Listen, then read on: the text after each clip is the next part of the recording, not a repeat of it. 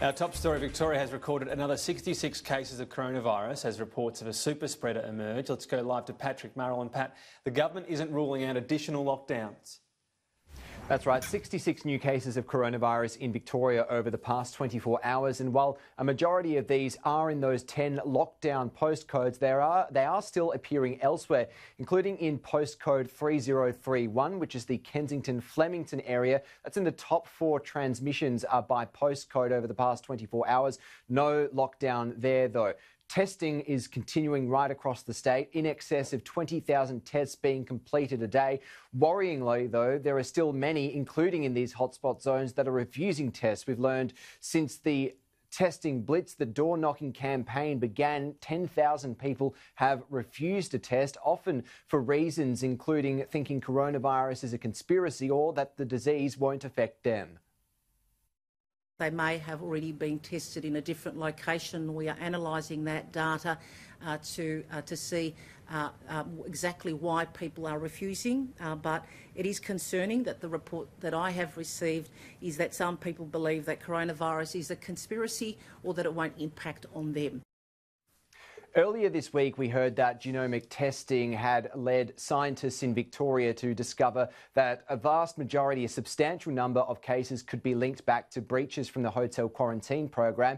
Now we understand the health department is examining the theory that a single super spreader may be responsible for nearly all the cases around the northwest corridor. That's where the hotspot zones are, those lockdown suburbs are. That is just a theory at the moment, but one that is actively being examined by the Department of Health and Contact contact at the moment. The Andrews government hasn't ruled out extending the lockdown or expanding it to further suburbs, including this postcode of 3031 over the weekend, if the situation continues to deteriorate.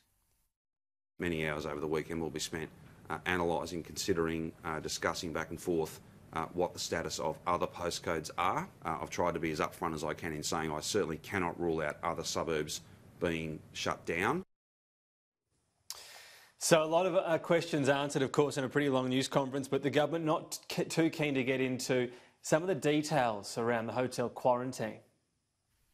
That's right. We're going to be hearing a lot of let's wait until we hear what the inquiry has to say over the next few weeks. Uh, today, the press conference with the Premier and the Health Minister, we all asked uh, the simple question of which department was uh, responsible for the management of contracts between the government and private security firms. Of course, we have heard a lot of salacious allegations come out of that mangled hotel quarantine program, including that guards were having intimate relationships with guests who were supposed to be in isolation, that some of them were allowed out of quarantine, and that guards were provided with little or no training. The hotels involved have passed the buck onto the government. They said that they were all in charge of the management of private security contracts. When asked if her department was the one in charge of those contracts, Jenny Mikakos said, no, it's not the health department, but wouldn't answer specifically which government department was. There was a similar response from the Premier as well.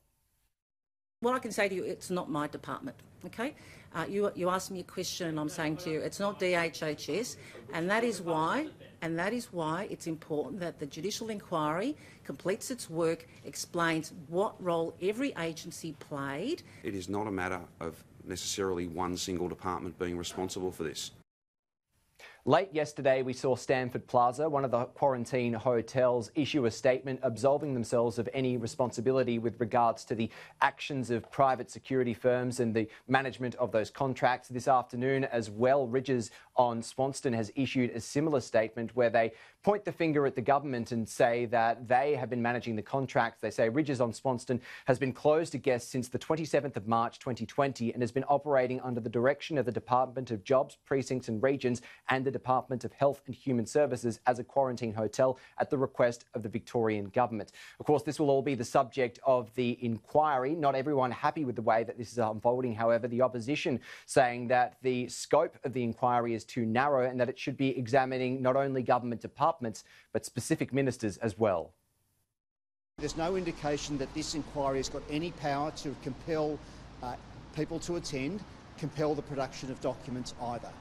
This isn't an inquiry, this is a cover up. The opposition has called on Health Minister Jenny Mikakos to resign. Patrick Murrell, thank you.